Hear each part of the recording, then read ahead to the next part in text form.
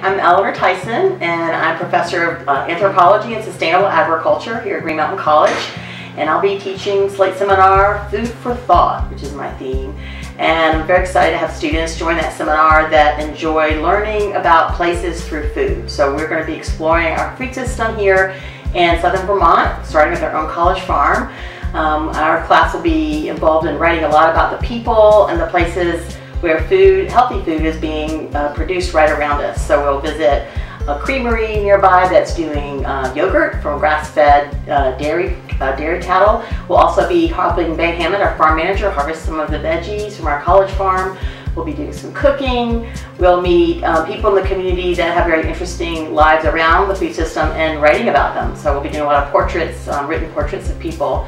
Uh, I personally teach a lot of classes around things like uh, sustainable food systems, food preservation.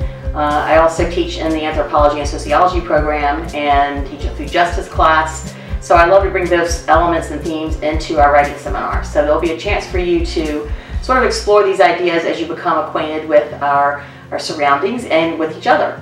Um, I also invite you to bring your food traditions and sense of identity through food when you come to campus because we're gonna, I'm putting you in charge of some of the uh, living and learning activities and workshops we'll be doing. My teaching assistant, Marone Eckert, also is very passionate about culinary studies and food and identity and she's got lots of ideas for working with everyone around these uh, kind of activities.